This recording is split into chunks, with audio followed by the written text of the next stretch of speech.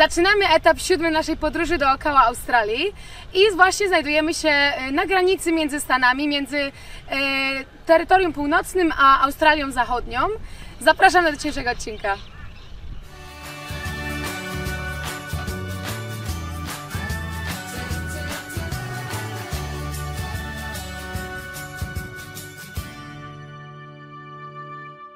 Dzień dobry. Idziemy do e, Parku Narodowego Bangle Bangle, albo też zwanego inaczej Purnululu. I w tym celu zjechaliśmy z drogi i 50 km jedziemy drogą offroadową, więc przygoda na dzień dobry e, i widzimy się w centrum parku.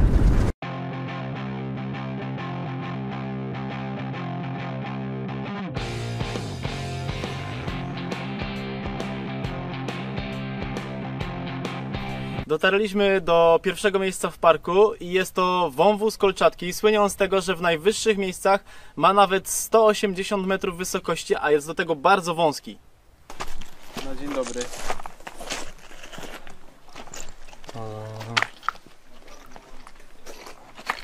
Później coś powiem.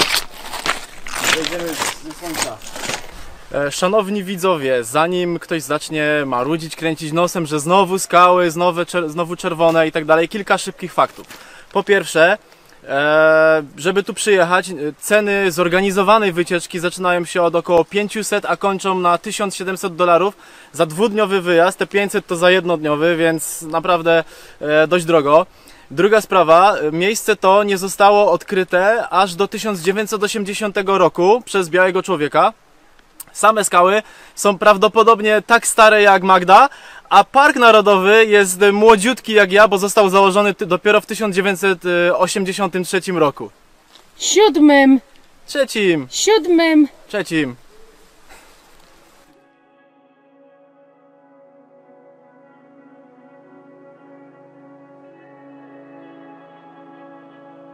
Idziemy przesmykiem i światło jest niesamowite.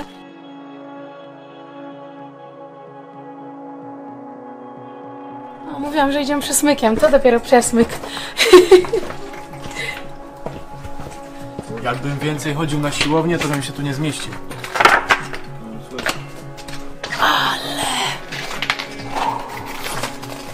Patrz jakie światło! Jo!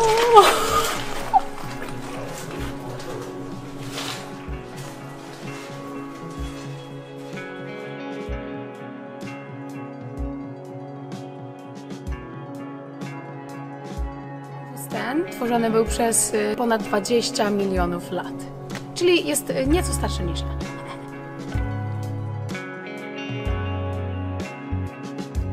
Czekamy na ten magiczny moment, kiedy słońce będzie przechodzić z jednej strony na drugą i promienie słoneczne będą wpadać prosto do środka wąwozu. Yy, No, no jak na razie jest przemagicznie.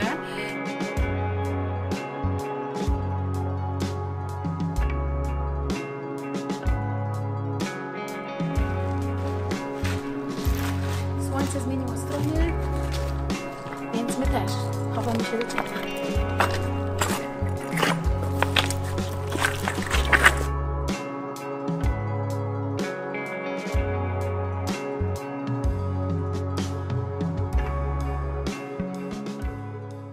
Jedziemy, ja przez chwilę myślałem, że to UFO lata normalnie, bo taka kulka czegoś, ale oczywiście tylko trąba powietrzna podniosła jakieś krzaki. Nic niezwykłego.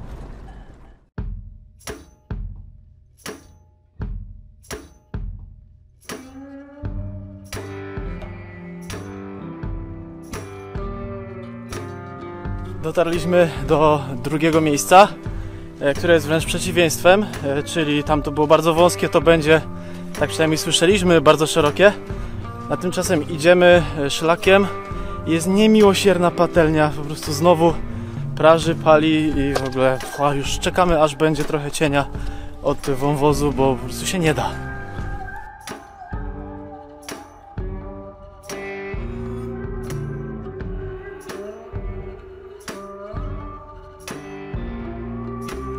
Dotarliśmy do centrum wąwozu katedralnego. Jak widzicie, olbrzymia jama, olbrzymia przestrzeń.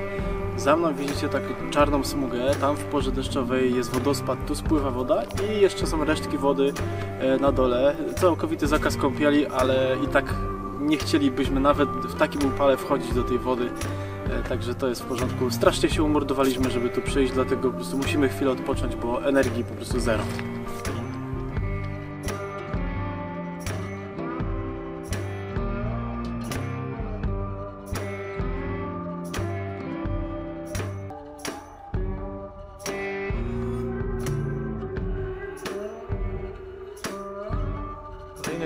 Szlak prowadzi nas do centrum kopuł, tak nazywają się te formacje skalne, kopuły. I można sobie wejść między nie, zobaczyć jak wyglądają z bliska, bo z daleka już widzieliście pięknie, a w środku też ciekawie i jest chłodek, także zostajemy na chwilę, odpoczywamy.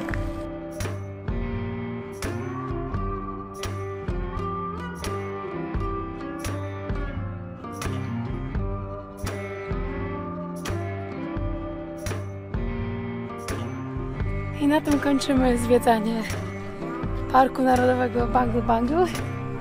Jedziemy dalej. Jak zwykle jestem zachwycona. Miejsce naprawdę przepiękne. Robi ogromne wrażenie.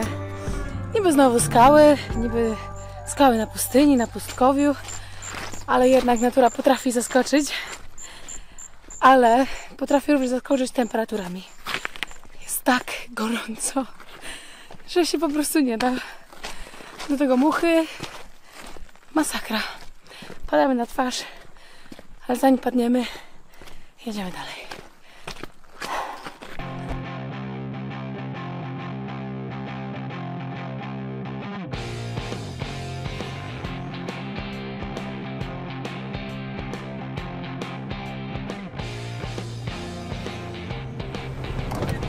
Ty, to jest byk. Ale spojrzał spod byka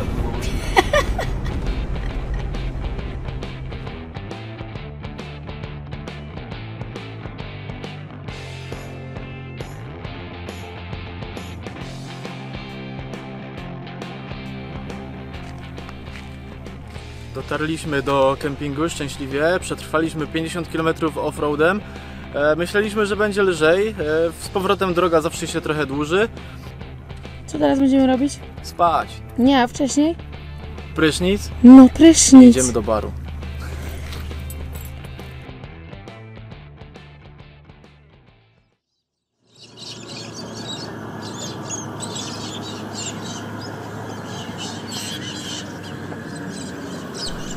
Nasz pierwszy przystanek dnia kolejnego w Australii Zachodniej to mur chiński. Tadam! Nie wiem, co mam więcej powiedzieć, każdy widzi. Wiem, co mogę powiedzieć, że nie musimy już jechać do Chin. Pyk.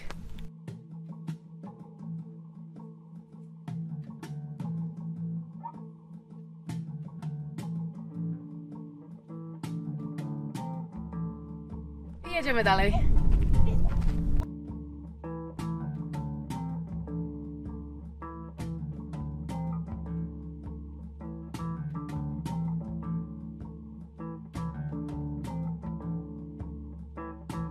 Przejściem, które trwało kilka sekund, wykonaliśmy żabi skok o 549 km od muru chińskiego, który wcale nie był w Chinach, do Baobabu, który wcale nie jest w Afryce.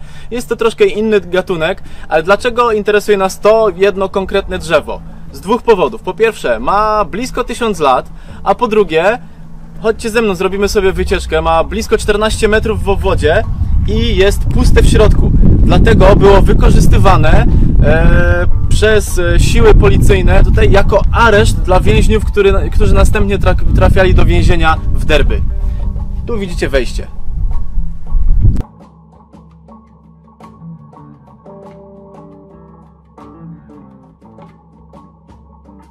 Oprócz tego, że miejsce było tymczasowym aresztem, jest również e, bardzo religijnym, duchowym miejscem dla aborygenów. Dlatego zostało ogrodzone. Nas jednak, żeby nie wchodzić do środka, najbardziej przekonuje informacja o tym, że wnętrze drzewa często zamieszkane jest przez różnego rodzaju węże. Jak to w Australii, wszystkie nazwy na wszystko są skracane, dlatego nie obowiązuje nazwa baobab, lecz boab. Oczywiście ten baobab nie jest jedynym w okolicy, widzieliśmy już całe mnóstwo, wszystkie wyglądają bardzo okazale.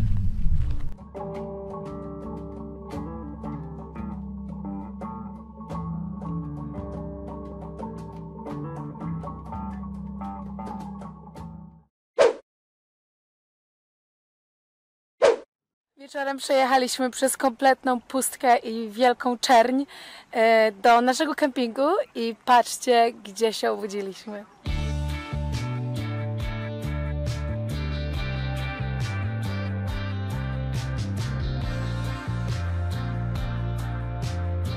Zwiedzamy okolice Brum, które słyną z tego, że poławia się tu perły. I tak właśnie trafiliśmy na farmę pereł. E, jak widzicie za mną, pięknie umiejscowiona. E, błękitna, turkusowa woda aż zachęca do tego, żeby się w niej zamoczyć, ale nie robiłbym tego, bo z tego co się dowiedzieliśmy, to przynajmniej trzy słone, słonowodne krokodyle są tutaj stałymi rezydentami. I to wcale nie jest jeden z nich. Przez wiele lat do pozyskiwania, do wyławiania małż i pozyskiwania pereł byli wykorzystywani nurkowie. Wielu z nich to byli imigranci głównie z Japonii lub Chin.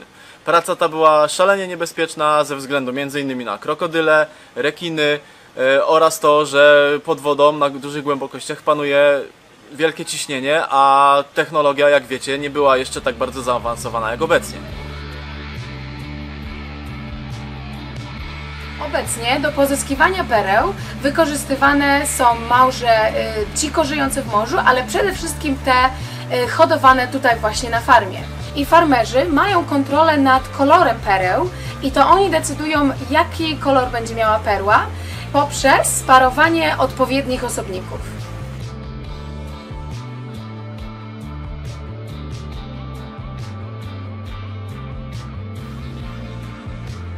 Sprawny farmer potrafi rozpoznać, które dwie małże sparować ze sobą po to, żeby uzyskać jak najlepszy kolor perły. Rozpoznaje to w ten sposób, że zagląda do środka i sprawdza kolor wnętrza muszli. Najbardziej pożądanym kolorem e, perły tutaj jest biały z lekką domieszką różowego.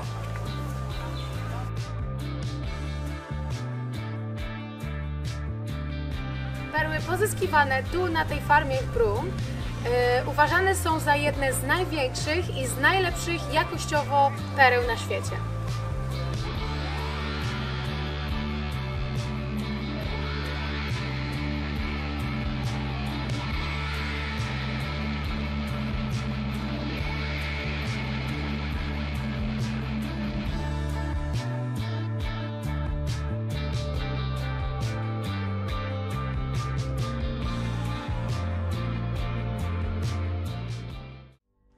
Jak Wam powiedzieliśmy, wśród poławiaczy pereł e, było bardzo dużo imigrantów z Japonii.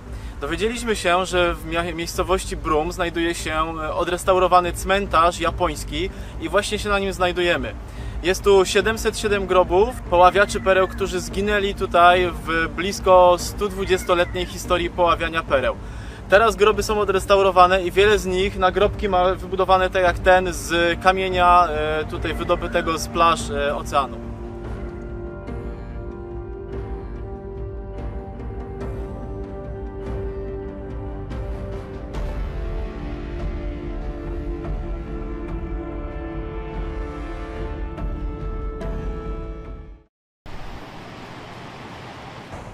Dotarliśmy na zachodnie wybrzeże Australii. Jesteśmy w miasteczku Brum. E, Miasteczko to słynie z przepięknych zachodów słońca na plaży. E, Jest to główna atrakcja w, e, w Brum.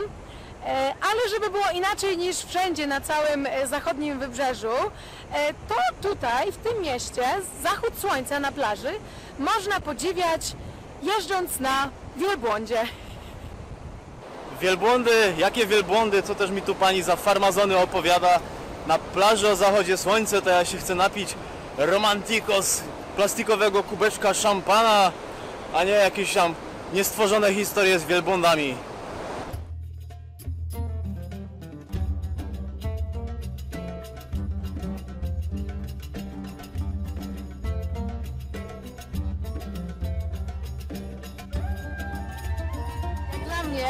Mnie większą atrakcją jest patrzenie na te wielbłądy e, idące e, po plaży na tle pięknego pomarańczowego słońca.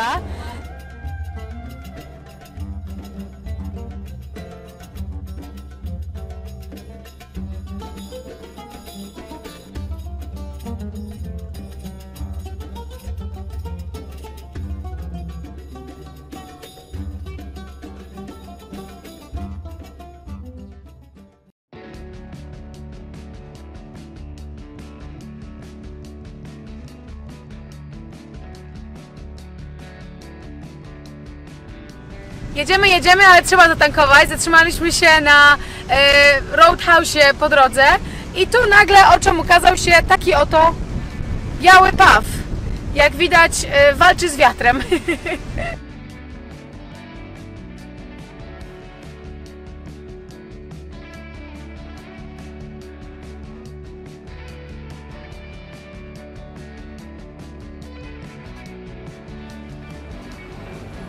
Dojechaliśmy do 80-milowej plaży, tak się nazywa. Ma więcej długości, Magda Wam później powie ile, bo ja nie pamiętam jak zawsze. E, I jedziemy się e, zabunkrować na kempingu i od razu uderzamy na plażę i będzie super. Bang, bang, bang. Oj, krzaki.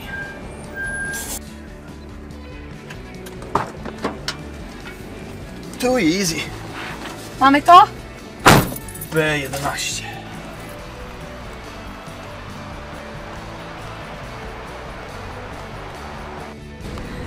No i plaża jest. Długa, pusta, przepiękna.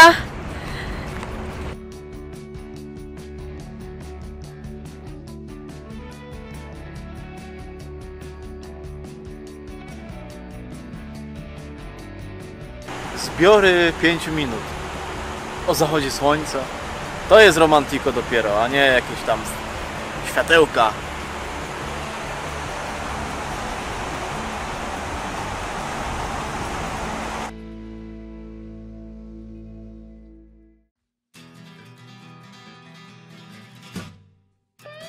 Odbiliśmy troszkę od linii brzegu, od e, Port Headland, e, który jest głównym portem. Jedziemy w kierunku Parku Narodowego Karijini i taka trasa, gdzie jedzie dużo road trainów do portu właśnie.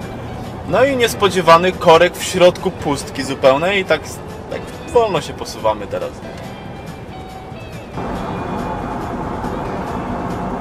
Takie ciężarówki wiozą.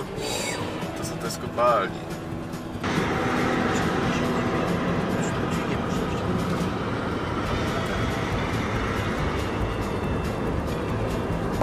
No i to była przyczyna naszego stania w korku. Były wiezione na tirach gigantyczne ciężarówki, które są wykorzystywane e, w kopalniach. E, e, Samochody eskortują to w ogóle zorganizowane nie- niesamowicie. No I jedziemy dalej. Mam nadzieję już bez problemów, szybciutko do Parku Narodowego.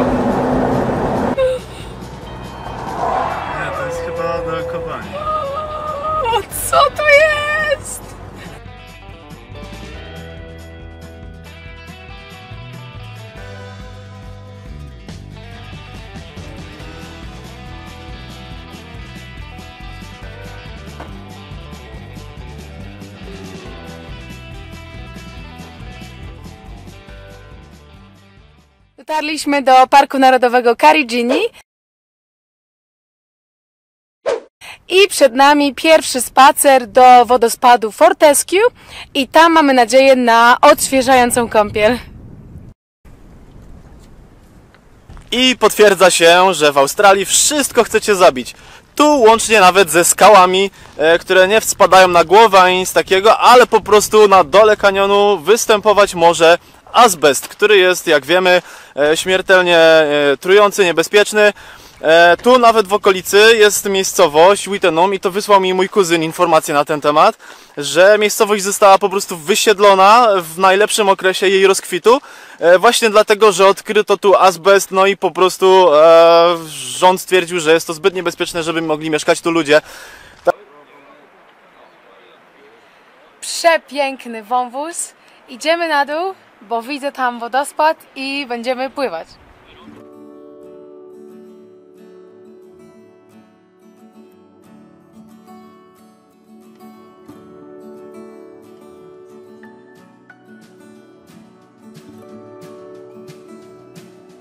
Fantastyczna woda, nie za zimna, nie za ciepła, taka w sam raz.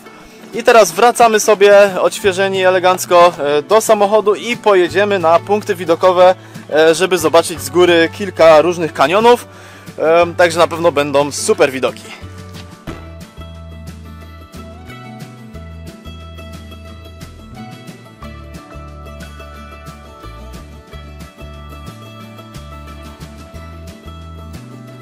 zdecydowaliśmy się zejść na dół do jednego z wąwozów i iść właśnie między skałami. Spotkaliśmy taką oto przeszkodę. Ale dzielnie sobie radzisz. Nie jeden Ranmagedon się przebiegło. Tak jest. Jedną ręką, jedną ręką. No już nie tego. Jedną ręką to ja będę musiał, bo aparat nie są.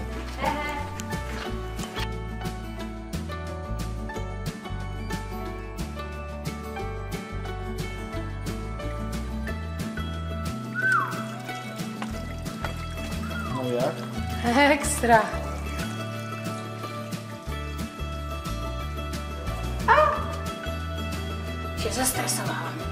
Teraz się jeszcze bardziej zestresujesz, tak.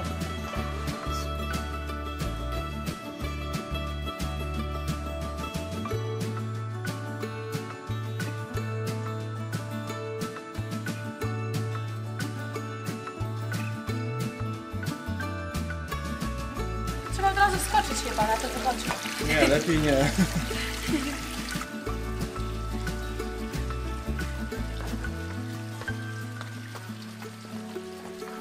Jakbyście mieli takie krótkie nóżki, też byście tak schodzili. Ale nie no, jest fenomenalnie.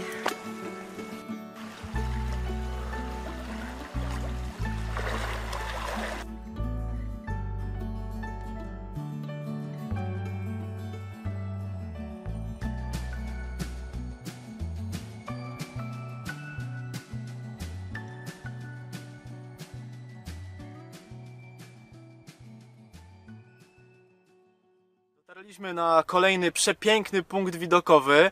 Tu za mną stykają się trzy wąwozy ze sobą. Jeden z prawej, drugi z lewej strony i główny wąwóz. Niesamowite głębokie. W tym miejscu, gdzie teraz stoimy, na szczycie, 2,5 tysiąca milionów lat temu było morze. To jest w ogóle niesamowite i niesamowite odległości czasowe. Jak... Every night in my dreams I see you, I feel you. I w tym pięknym miejscu kończymy ten odcinek e, z perełkami z tego wybrzeża. E, chciałbym Was serdecznie zaprosić do tego, żebyście subskrybowali nasz kanał, jeśli tego jeszcze nie zrobiliście, i udostępniali linki do tego i innych naszych filmów, gdzie tylko możecie, na swoim Facebooku, na jakichś forach i tak dalej. Wcale się nie obrazimy, tylko nam pomożecie w ten sposób. A w następnym odcinku, w następnym odcinku będziemy na zachodnim wybrzeżu i zobaczymy, gdzie pustynia spotyka się z oceanem.